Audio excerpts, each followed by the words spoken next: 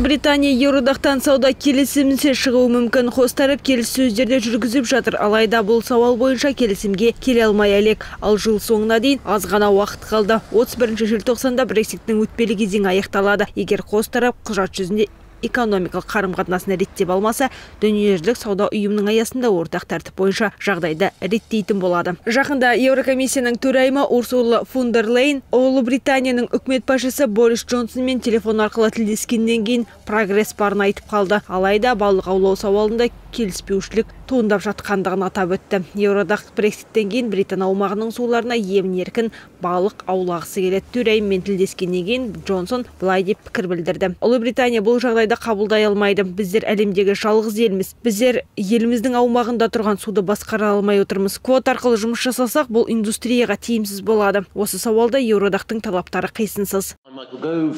Ұлыбритания министрлер кабинетінің секретариатының басшысы майкл гоуф келіссөздерге келудің қиын екендігін де айтты. Өкінішке орай біздер келісімге келе алмауымыз да мүмкін. Қазіргі таңда жеңіске жететін мүмкіндік елу пайызды құрайды.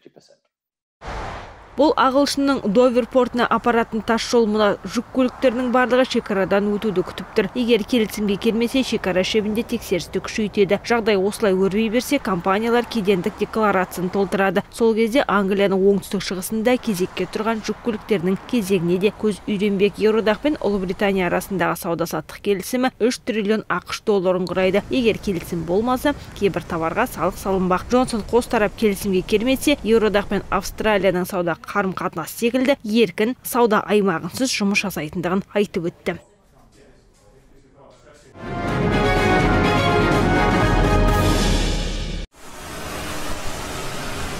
Ақштың федералды ведомствосының жүйесі үлкен хакерлік шабуылға ұшырады. Бұл агенттіктің қолданатын solar wind бағдарламасының жаңартқаннан кейін пайда болған вирус құпия кілттің кесірінен тарала бастапты зардап шеккен ведомствоның бірі ақштың энергетика министрлігі. Осы министрліктің бір бөлімі елдегі ядролық қарудың жиынтығын бақылайды. Бірақ ведомство өкілдері кейбір шабуыл ұлттық қауіпсіздікке ешқандай қатер төндірмегендігін айтты. Solar windстің келтірген мәліметі бойынша қатерлі бағдарламаны 18 мың тұтынушы орнатқан әрбір компания әлем бойынша 300 мың адамға қызмет көрсетіп және ақштың қарулы күштерінің 5 филиалы 420 корпорациясы мен америкалық президенттің кеңсесі осы бағдарламаны жүктеген. Ақштың қаржы және сауда министрлігіне кибер шабуылға ұшырағанын тіпті Microsoft компаниясы да шабуылға тап болғандығын растады. Бірақ федералды кибер қауіпсіздік агенттігінің мамандары бұл шабуыл бұрын ұйымдастырылған шабуылдарға қарағанда ауқымды болғандығын атап өтті. Сонымен қатар хакерлік шабуыл 2020 жылдың наурызында басталып бірден бірнеше тәсілмен жүзеге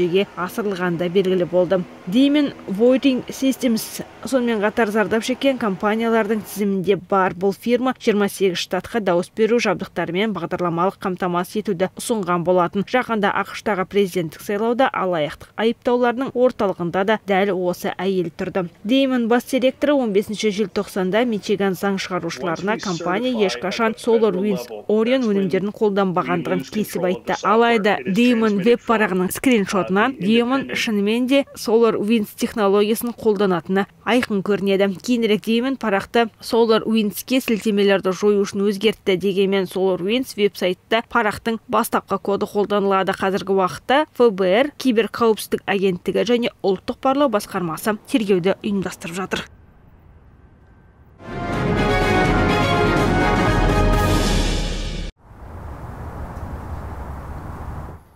Оңтүстік кореялық жиһаз дизайнері ким қолданылған бетперделерді орындыққа айналдырып жатыр. Бір рет қолданыс құралдарының көпшілігі полипирен қалшықтары мен синтетикалық материалдан жасалады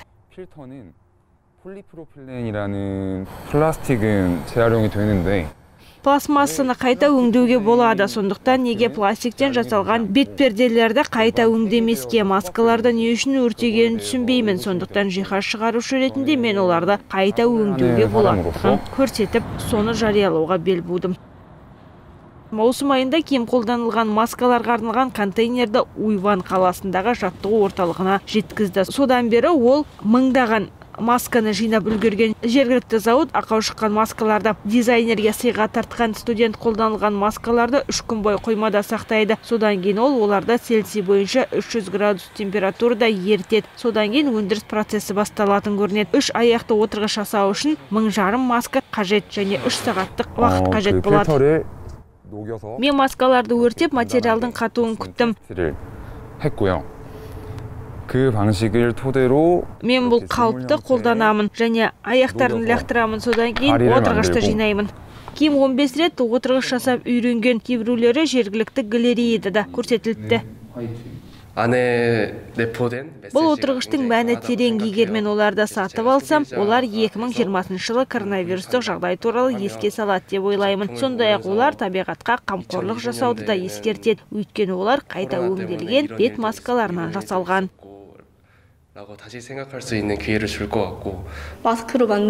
мен бұл орындықты маскалардан жасалған. деп те ойлаған емеспін олар маған өте әдемі болып көрінді мен оларды үйіме сатып алғым келеді алайда студент орындықты әлі сатпайды. Ол қайта өңдеу маскалардан жиһаз жиынтығын жасағысы келеді. Ол сонымен бірге табиғатты қорғау үшін маңызды серіктес компанияларды табуды да жоспарлап отыр.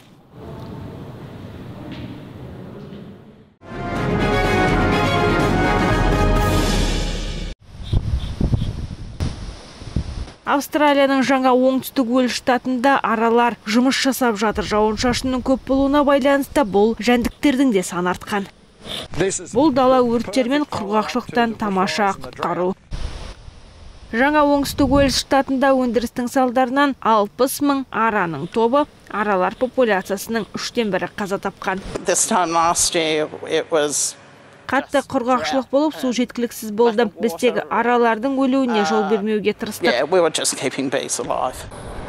Алайда табиғат жәндіктерге аяушылық танытып қап қатты жаңбырдан кейін өрісте жол желкен көгеріп гүлдеді австралияда бұл қатерді арамшөп көп саналады. Ол өзінің бағын безендіру үшін еуропадан тұқым әкелген әйелдің атымен паттерсон қарғыс деп те аталады бірақ арамшөп гүлі джейннің құтқаруы деп те аталады бірде құрғақшылық кезінде оның арқасында мал аман қалады. Енді осы шөптің арқасында аралар да жан сақтап отыр керемет бал біз мұны бірнеше жылдан бері көрмедік.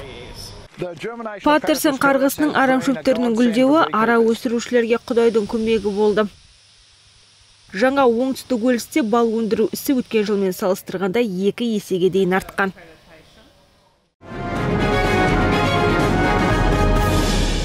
Ресей олимпиадалардан шеттетілді. WAD допинг ісінде жеңіске жетті. Ресейлік спортшылар екі жыл бойы олимпиадалар мен әлем чемпионаттарында ел туасында өнер көрсете алмайды. Лозандадағы сот төрелігі дүниежүзілік допингке қарсы агенттік салған санкцияларды қолдады бірақ олардың мерзімін екі есе қысқартты. Өткен желтоқсанда WAD ресейді ірі халықаралық жарыстарға қатысудан төрт жылға шеттетті. Агенттіктің хабарлауынша себеп мәскеудің допингке қарсы зертханасының допинг тесттер манипуляциясы болды.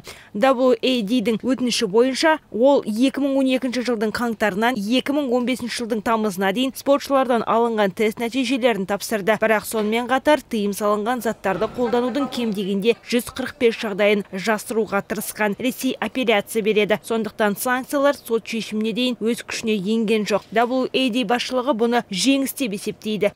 Uh, we believe uh, they were proportionate. Біздің ойымызша олар әділетті бірақ WAD судья емес прокурор және біз алқа шешімін құрметтеуге міндеттіміз. Бұл допинг бұзушылықтар үшін кез келген елге салынған ең ауыр санкция.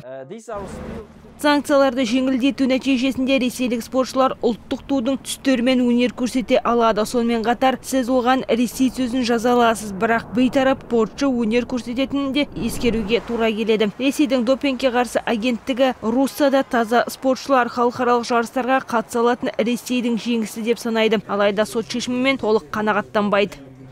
Мы считаем, что решение суда біз сот шешімі толығымен негізделген және әділ деп есептемейміз руса дэйдің кодексіне сәйкес келмейді деп танылды бұл үшін заңда дәлелдер жоқ біз өз шешімімізде ресей тарапынан барлық дәлелдерді толық ескермеді деп есептейміз все аргументы российской стороны. Алдағы екі жылда ресей халықаралық спорт жарыстарын өткізуге өтініш бере алмайды. Сондай ақ ресейлік шенеуніктерге олимпиадаларға ресми қатысуға тыйым салынды. Сонымен қатар ресей допингке қарсы тергеу шығындарын өтеу үшін WWD-ға миллион евро төлеулері керек.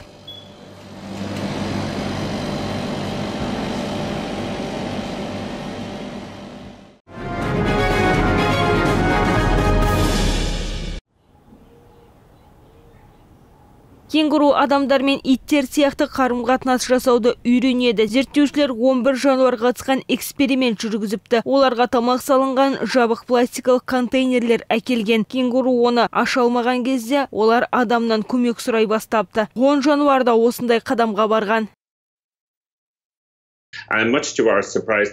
біздің таңғалысымызға орай олар бір адамға немесе контейнерге мұқият қарайды мұны әдетте үй жануарлары жасайды экспериментке қамауда өмір сүретін кенгурулар қатысты. Олар қолжетімді олар австралиядағы жабайы табиғат саябақтарында сақталған. сондықтан олар адамдарға үйреніп те қалған. бірақ мынандай экспериментті жабайы кенгурулер жасамауы мүмкін. өйткені олар қорқып қашып кетеді. Зерттеушілер басқа жабайы жануарлар адамдармен қарым қатынас жасауды үйренеді деп санайды.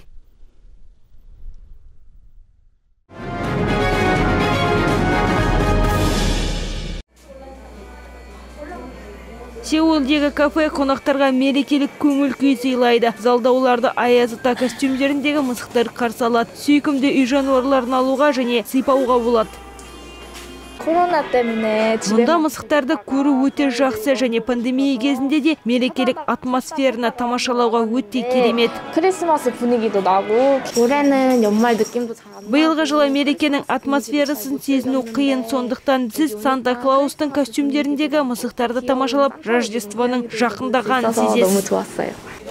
мысықтар кафесі төрт жыл бұрын ашылған. Қазір мұнда 130 мысық тұрады. Иесі үйсіз және тасталған жануарларға баспана береді. Ол қайырымдылықты қабылдамайды. Және кафедегі тапқан ақшаға мысықтарды асырап отыр. Рождестволық маусымда мұртты жануарлар мерекелік кешкі аспен қоректенеді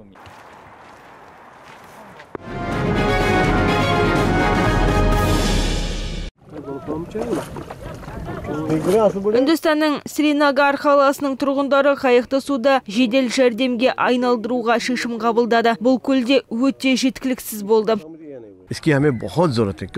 Су жедел жәрдемі өте қажет адамдар бақытты. Ол жолдар жоқ болғанда кез келген жерге жете алады. Біз адамдарға тегін телефон нөмірін береміз. Егер біреу ауырып қалса қоңырау шалып жедел жәрдем оларға қарай жүзеді дал көлінің ауданы шамамен 20 шаршы шақырымды құрайды. Бұл үндістанның джамму және кашмир штатының ең көрікті жері. Оның жағалаулары тығыз орналасқан. Сонымен қатар жолдар арқылы ауруханаға жету де қиын. Тарику су жедел жәрдемін жабдықтау идеясы оның өзі коронавируспен ауырғаннан кейін және ауруханаға үлкен қиындықпен жеткеннен кейін келеді. Досының қайығын жалға ала тұруға тура келген нәтижесінде ер адамның өмірі құтқарылды дәрігерлер егер науқасты бірнеше минут бұрын әкелсе оны құтқаруға болады деп жиі айтады. Бұрын пациенттерді қайықпен содан кейін машинамен содан кейін жедел жәрдеммен алып жүретін еді. Бірақ қазір тікелей қызмет болды. бұл жақсы үрдіс. туристерге де пайдалы болуы мүмкін.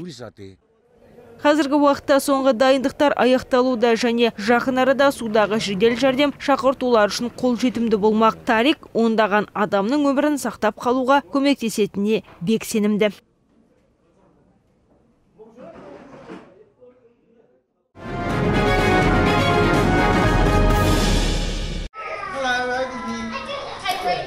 Жаңа оңтүстік Уэльстегі Веллингтон қаласындағы бұл қарттар үйінде енді тыныштық болмайды. Оның жақында балалар орталығы пайда болды. Мұндай көршілердің қарттарды бақытты етеді. Енді олар күнделікті өмірде сәбилерге баратын болады. Сіз өзіңізді тірі адам сияқты сезінесіз. Бұл әженің немерелері жоқ. Оның айтуынша, мұндай өзара іс-қимыл ол үшін көп затты білдіреді. Бұл бізді қандай да бір мағынада қолдайды. Бұл жерде не болып жатқанына қызығушылық танытады. Осы орталықта ғылыми зерттеулерді басшылыққа ала отырып, қарттар балалармен бірге ойнайды, оқиды және ән айтады. Бұл есті сақтап қалуға көмектеседі және депрессияға ем болмақ. Әрине, мұндай жерде жалғыздықтың да болуы мүмкін емес. көптеген адамдар қарт адамдарға күтім жасау мекемелеріне түсіп депрессияға түседі және олардың өмір сүру сапасы да нашарлайды мұнда балалар орталығын ұйымдастыру және қарттармен осындай кездесулер өткізу идеясы қарттар үйінің директоры терри фросттан туындапты. балалармен кешкі астан кейін осында қарап верандада отыру үшін олардың қалай ойлайтынын көру бұл үлкен терапия. көптеген адамдар мұндай мекемелердің болашағы бар деп санайды. Балалардың қалай сурет салып ойнайтынын бақылаймын. арасынан кішкентай балақай келіп сенің есімің кім? деп сұрайды. Қарттар үйінің қонақтары сәбилермен осындай кездесулері бірқатар елдерде де өткізіліп келеді. Бір жағынан қарттар өздерін керек сезінеді екінші жағынан балаларға да бұл үрдіс ұнайды.